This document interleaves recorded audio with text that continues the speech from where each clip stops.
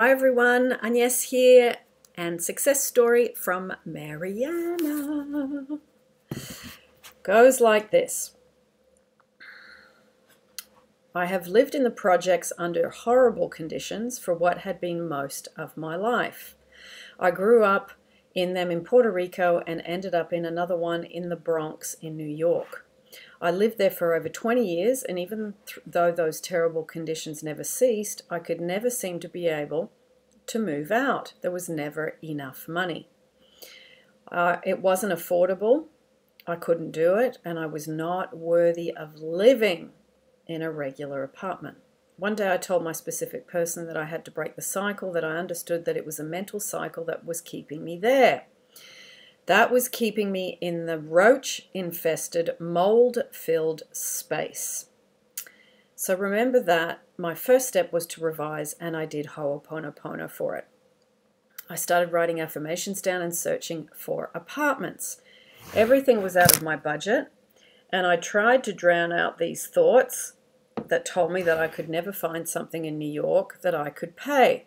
So I kept searching and became frustrated a couple of times, but I kept going. I hired a realtor that showed me some apartments and I found the one. It was super affordable. It seemed even unreal that I could find something so cheap. My SP thought it was an upgrade, but not in the best area, but I didn't care. My credit was beyond perfect, and that apartment was mine. I started packing in anticipation and kept telling everyone that there was no way that they would deny me. My paperwork was perfect. Where attention goes, energy flows. I focused so much on they couldn't deny me that they did. Oh, I cried and cried. How could this have happened? I'd visualized myself there and it had everything I wanted. I went back to my affirmations and they were not doing it for me. I remember mentioning it to my friend Anita, and she gave me the simple I remember when I used to live in the projects. Look at how wonderful my new apartment is, and I'm thankful and grateful now that I have my perfect apartment. Less than a week later, an apartment posted on a Sunday evening. By Monday the next day, I had already seen it, and I got it approved by Wednesday. I got all brand new appliances. The apartment was fully renovated and it had windows and tons of natural light. All as I had wanted. This apartment is beautiful and I am so grateful. Mariana, I'm wondering as I read that, was the second apartment, the one that you got, even better than the one you missed out on? Just put a comment down in the threads. Number two manifestation. I have something amazing to share. I have a very loving cousin who unfortunately had been in jail for many years over something stupid. He calls me frequently, and I decided to start to teach him a bit about Neville. I started to listen as if I heard him telling me that he was going home. When I would remember, I would do it. Then I proceeded to tell him that from now on, when he calls me, he's not calling me from jail, but from the Dominican Republic. I asked him, Think about what you would do what you would see, what you would feel. You are in Barbados. Then, as I learned more about the revision tool of Ho'oponopono, I decided to clean for him yesterday. Today, he called me that he is going home. Oh my God, I'm still in somewhat in shock. I'm so excited. That's lovely. Okay, Manifestation number three. I have a work manifestation to share using the law of assumption and the power of the subconscious mind. A couple of months ago, I got laid off, and it took a couple of calls with my friend Sean and a couple of Agnes's manifesting a job technique to calm me down. I believe in affirmations and the power of assumption, so I started there.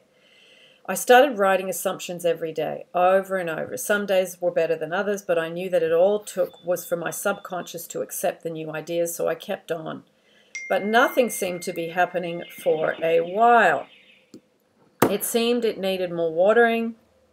I started scripting the things I would like in a new job. Didn't even finish. When reading You Can Heal Your Life, I came across I Am Safe.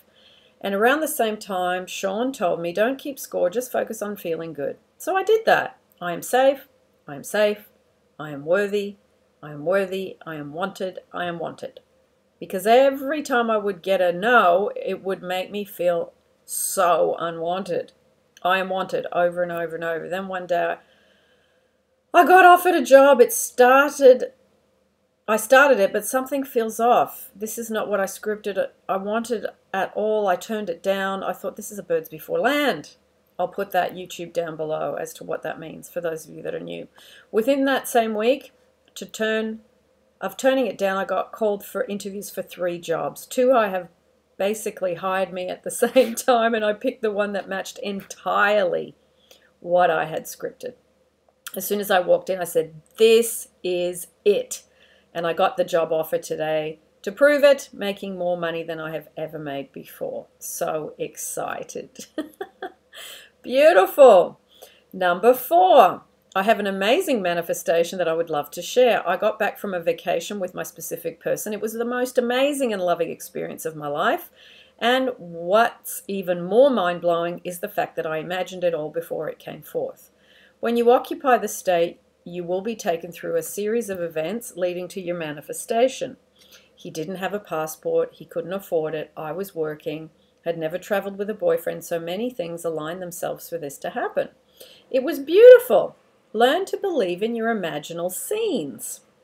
Revise or do Ho'oponopono and radiate love. You are love. You are powerful beyond measure.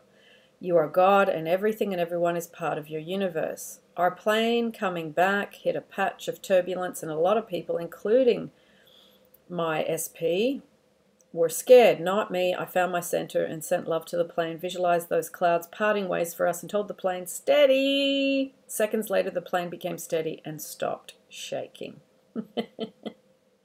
Lovely, Mariana. That's beautiful. Now, I know this is a succession over some years, but it's absolutely lovely. Now, um, Mariana has been doing some really good work and getting results from EFT. So she has linked some specific sessions that she's using. I will put those links down below for those of you that want to go and explore EFT. Um, I don't talk about EFT on the channel. Why? Because it's a very specialized area and I think you need to be really an expert on that to really do it justice. So I do think it's a wonderful practice and I do think it's a wonderful uh, technique.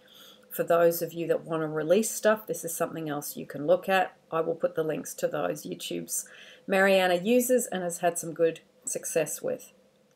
So, lovely story. Thanks, Mariana. Lots of love. And I will put down in the description below, Mariana and I, I actually read her uh, story, another story of hers, and I'll put the link to that YouTube for those of you that want to revisit it. So, thank you. Lots of love, and I will see all of you as always in the next YouTube.